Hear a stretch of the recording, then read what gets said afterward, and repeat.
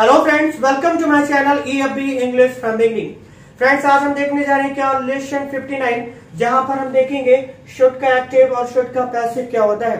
Friends अगर बात active sentence की की जा रही है तो हम लोगों ने शुड को पहले भी पढ़ के रखा है। अगर आपको प्रॉब्लम हो तो आप जाके प्रीवियस लेसन में शुड शुड बी और शुड हैव इन सारी चीज़ों को देख सकते हैं और समझ सकते हैं। बट आज फ्रेंड्स बात करते हैं क्या शुड का पैसिव सेंटेंस कैसे बोला और बनाया जाता है।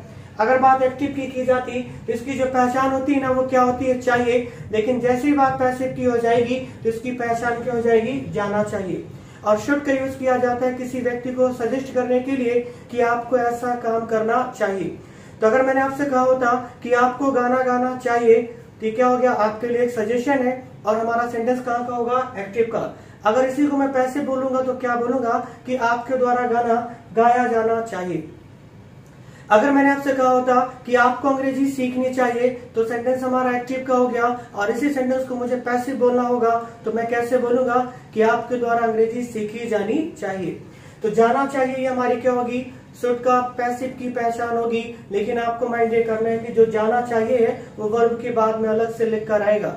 जैसे खेला जाना चाहिए, बनाया जाना चाहिए, पढ़ा जाना चाहिए, सीखा जाना चाहिए, कमाया जाना चाहिए, बचाया जाना चाहिए। तो वर्ब के बाद जब जाना चाहिए, लिख के आ जाए तो उसके लिए आपको शुड बी और वर्ब की थर्ड फॉर्म रखनी होगी, क्योंकि सेंटेंस हमारा कहाँ का होगा? पैसिव का होगा।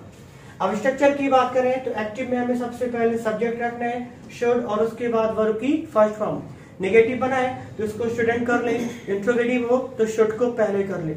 और अगर बात पैसिव सेंटेंस की है तो सबसे पहले हमें क्या रखना होगा? ऑब्जेक्ट और इसके ठीक बाद हमें रखना है क्या? शुड बी जो कि हमारी क्या होगी? हेल्पिंग वर्ब अब फ्रेंड्स माइंड कीजिएगा बी वर्ब की थर्ड फॉर्म बाई और सब्जेक्ट ये फिक्स रहेगा, ये किसी भी स्ट्रक्चर में नहीं बदलने वाला।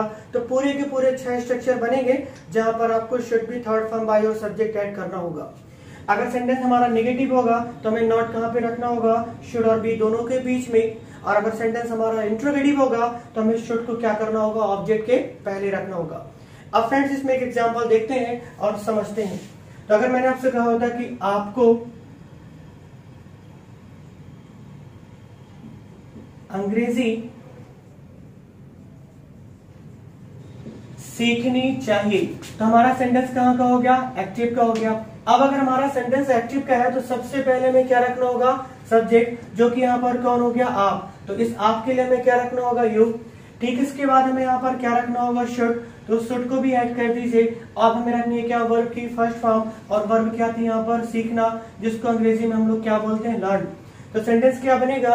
यू शुड लर्न और ऑब्जेक्ट क्या था हमारा यहाँ पर? इंग्लिश इंग्लिश को भी ऐड कर दीजिए। बन गया हमारा पूरा sentence you should learn English आपको अंग्रेज़ी सीखनी चाहिए। और फ्रेंड्स अगर मैं आपसे कहूँ कि you should not learn English तो हिंदी क्या होगी? आपको अंग्रेज़ी नहीं सीखनी चाहिए। शुड यू लर्न इंग्लिश तो हिंदी क्या होने वाली है? क्या आपको अंग्रेज़ी सीखनी चाहिए? और फ्रेंड्स अगर इसी सेंटेंस को मैं पैसे बोलूँगा तो मैं कैसे बोलूँगा? कुछ इसी प्रकार से ना कि आपके द्वारा अंग्रेज़ी सीखी जानी चाहिए। अब अगर मैंने सेंटेंस को कुछ इस प्रकार से बोला है तो सेंटेंस हमारा कहाँ का हो गया? पैसिव का हो गया। अब अगर ये सेंटेंस हमारा पैसिव का है तो इसको पैसिव से बना लीजिए। और पैसिव से बनाना है तो मुझे सबसे पहले क्या रखना होगा? ऑब्जेक्ट जो कि यहाँ पर कौन हो गया? इंग्लिश क्योंकि मैंने क्वेश्चन किया, क्या सीखी जानी चाहिए? तो आंसर आएगा क्या? अंग्रेज़ी। इस इंग्लिश को सबसे पहले आप ऐड कर लीजिए।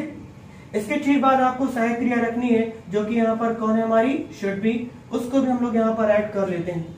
अब हमें रखनी है क्या? वर्ब की थर्ड फॉर्म तो जब लर्न होता है ना, इसकी थर्ड फॉर्म क्या होती है? Learnt L E A R N T तो सेंटेंस हमारा क्या बनेगा? कि English should have been learnt और बाई के बाद क्या जाएगा? यू बस हो गया हमारा statement complete English should have been learn by you अंग्रेज़ी आपके द्वारा बोली जानी चाहिए। और फ्रेंड्स अगर मैं शुड को पहले रख दू मैं कुछ इस प्रकार से सेंटेंस बोलूँ कि should English be learnt by you तो हिंदी क्या होगी कि क्या आपके द्वारा अंग्रेज़ी सीखी जानी चाहिए? और इसी सेंटेंस को अगर मुझे एक्टिव करना होगा तो मैं क्या बोलूँगा कि क्या आपको अंग्रेज़ी सीखनी चाहिए? कुछ नहीं करना है आपको, फिर से इसी शुड को उठाना है और इसको क्या कर देना है? यू के पहले, यानी सब्जेक्ट के पहले ऐड कर देना है। और सेंटेंस क्या बनेगा? शुड यू लर्न इंग्लिश क्या आपको अंग्रेज़ी सीखनी चाहिए? और फ्रेंड्स अगर इस सेंटेंस के पहले मैं यहाँ पर वाई को ऐड कर दूँ और मैं आपसे कहूँ कि why should you learn English तो हिंदी क्या होगी कि आपको अंग्रेज़ी क्यों सीखनी चाहिए? और अगर इसी सेंटेंस को फिर से मुझे पैसिव करना होता तो मैं आपसे क्या कहता कि आपके द्वारा अंग्रेज़ी क्यों सीखी जानी चाहिए? कुछ नहीं करना होगा आपको, फिर से इस क्यों की अंग्रेज़ी बनाने के लिए यहाँ पर डब्ल्यू एच वर्ड वाई को ऐड कर दीजिए। बन गया आपका पूरा sentence why should English be learn by you आपके द्वारा अंग्रेज़ी क्यों सीखी जानी चाहिए? अब फ्रेंड्स बात करते हैं कि आप प्रैक्टिस की तो कुछ सेंटेंस है आपको एक्टिव के और पैसिव के लेकर एक दूसरे में चेंज करके बोल देना है और कुछ नहीं करना।